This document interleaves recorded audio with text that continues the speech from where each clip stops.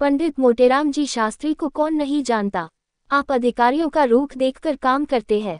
स्वदेशी आंदोलन के दिनों में अपने उस आंदोलन का खूब विरोध किया था। स्वराज्य आंदोलन के दिनों में भी अपने अधिकारियों से राजभक्ति की सनद हासिल की थी। मगर जब इतनी उछल कूद पर उनकी तकदीर की मीठी नींद न टूटी और अध्यापन कार्य से पिल न छूटा तो अंत में अपनी एक नई तदबीर सोची। घर जाकर धर्मपत्नी जी से बोले, इन बूढ़े तोतों को रटाते रटाते मेरी खोपड़ी पच्ची हुई जाती है। इतने दिनों विद्या दान देने का क्या फल मिला जो और आगे कुछ मिलने की आशा करूँ? धर्मपत्नी ने चिंतित होकर कहा, भोजनों का भी तो कोई सहारा चाहिए। मोटेराम तुम्हें जब देखो पेट ही की फ्रिक पड़ी रहती है। कोई ऐसा विरला ही दिन जाता होगा कि निमंत्रण न मिलते हो, और चाहे कोई निंदा करे, पर मैं परोसा लिए बिना नहीं आता हूँ। आज ही सब यजमान मरे जाते हैं। मगर जन्म भर पेट ही जिलिया तो क्या किया? संसार का कुछ सुख भी तो भोगन चाहिए। मैंने वैद्य बनने का निश्चय किया है। स्त्री ने आश्चर्य से कहा, वैद्य बनोगे, कुछ वैद्य की पड़ी भी है। मोटे, वैद्य पने से कुछ नहीं होता। संसार में विद्या का इतना महत्व नहीं जितना बुद्धि का। तो चार सीधे सादे लटके हैं, बस और कुछ नहीं। आज ही अपने नाम के आगे भिष्काचार्य बड़ा लूँगा। कौन पूछने आता है? तुम भिषगाचार्य हो या नहीं? किसी को क्या गरज पड़ी है जो मेरी परीक्षा लेता फिरे? एक मोटा सा साइन बोर्ड बनवा लूँगा। उस पर शब्द लिखे होंगे। यहाँ स्त्री पुरुषों के गुप्त रोगों की चिकित्सा विशेष रूप से की जाती है। दो चार पैसे का हाहू बहेरा आवनला को छानकर रख लूँगा। बस, इस काम के लिए इतना सामान पर्याप्त है। हाँ समाचार पत्रों में विज्ञापन दूँगा और नोटिस बंटवाऊँगा। उसमें लंका, मद्रास, रंगून कराची आदि दूरस्थ स्थानों के सज्जनों की चिट्ठियाँ दर्ज की जाएँगी।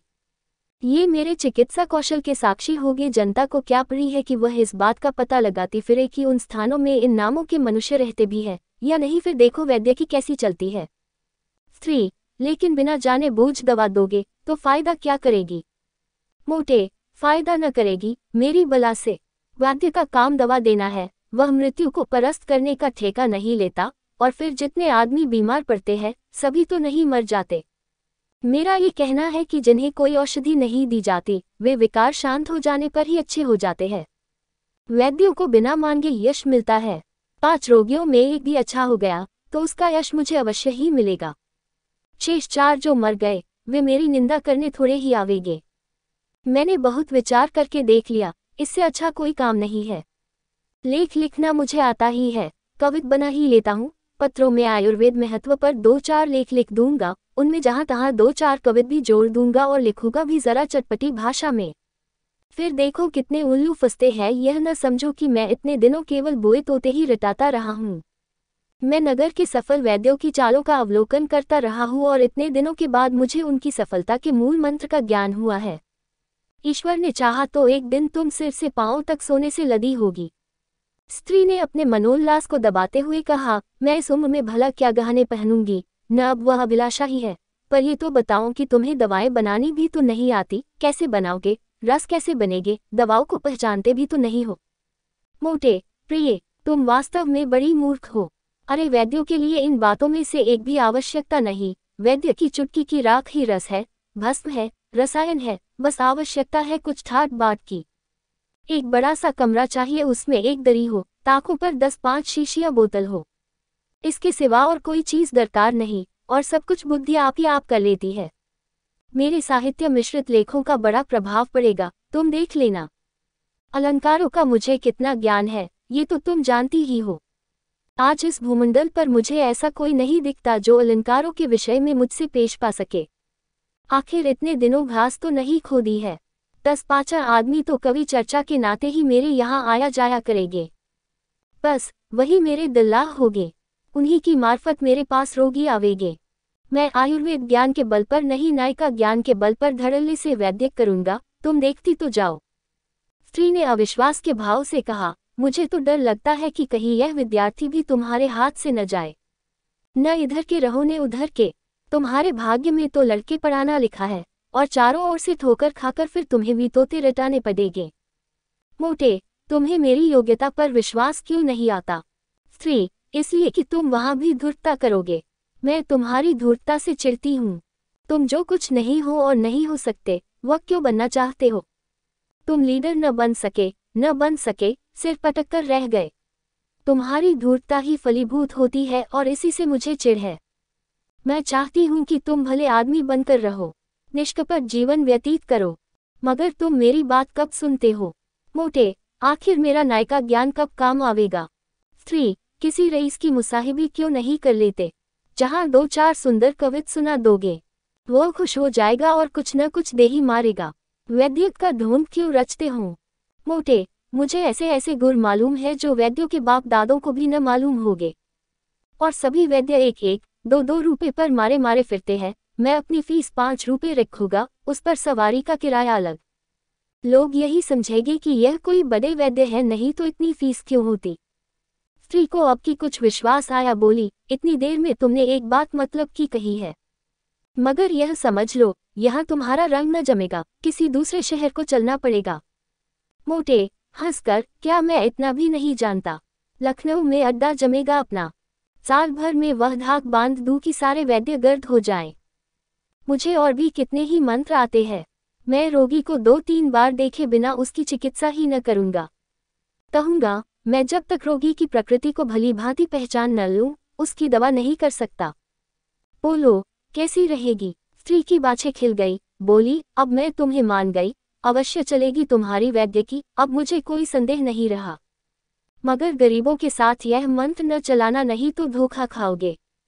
टू साल भर गुजर गया। विशगाचार्य पंडित मोटेराम जी शास्त्री की लखनऊ में घूम मच गई।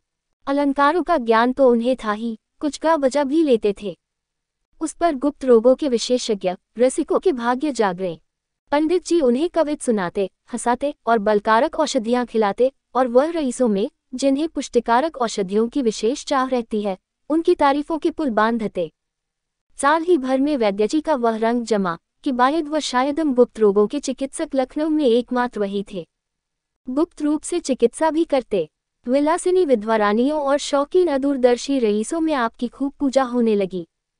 किसी को अपने सामने समझते ही न थे, मगर स्त्री उन्हें बराबर समझाया करती कि रानियों के झमेले में न फंसो, नहीं का दिन पछताओगे। मगर भावी तो होकर ही रहती है, कोई लाख समझाए बुझाए। पंडित जी के उपासकों में बिरहल की रानी भी थी।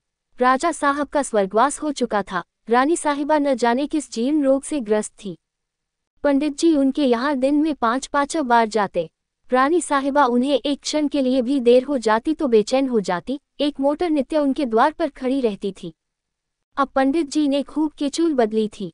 तंजेब की अचकन पहनते, बनारसी साफा बांधते और पंप जूता डांटते थे। मित्रगण भी उनके साथ मोटर पर बैठकर दंदनाया करते थे। कई मित्रों को रानी साहिबा के दरबार में नौकर रखा दिया। रानी साहिबा भला अपने मसीहा की बात कैसी टालती, मगर चरखे जफाकार और ही षयंत्र रच रहा था। एक दिन पंडित जी रानी साहिबा की गोरी गोरी कलाई पर एक हाथ रखे नब्ज देख रहे थे, और दूसरे हाथ से उनके हृदय की गति की परीक्षा कर रहे थे कि इतने में कई आदमी सोटे लिए हुए कमरे में घुस आए और पंडित जी पर टूट पड़े। रानी भागकर दूसरे कमरे की शरण ली और किवाड़ बंद कर लिए। पंडित जी पर बेभाव पड़ने लगे। यूँ तो पंडित जी भी दमखम के आदमी थे, एक गुप्ती सिंदैव साथ रखते थे। पर जब धोखे में कई आदमियों ने धर दबाया तो क्या करते?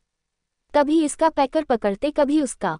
हाय हाय, का शब्द मुँह से निकल रहा था, पर उन बेरहमों को उन पर जरा भी दया न आती थी। एक आदम ने एक लाख जमाकर कहा, इस दुष्ट की नाक काट लो। दूसरा बोला, इसके मुँह में कलिक और चूना लगाकर छोड़ दो। तीसरा, क्यों वैद्य जी महाराज, बोलो क्या मंजूर है? नाक कटवाओगे या मुँह में कालिक लगवाओगे पंडित भूल कर भी नहीं सरकार। हाय, मर गया। दूसरा, आज ही लखनऊ से रेफरेट हो जाओ, नहीं तो बुरा होगा। पंडित, सरकार, मैं आज ही चला जाऊँगा। जनेऊ की शपथ खाकर कहता हूँ, आप यहाँ मेरी सूरत न देखेंगे। तीसरा अच्छा भाई, सब कोई इसे पाँच पाँच लाते लगाकर छोड़ दो।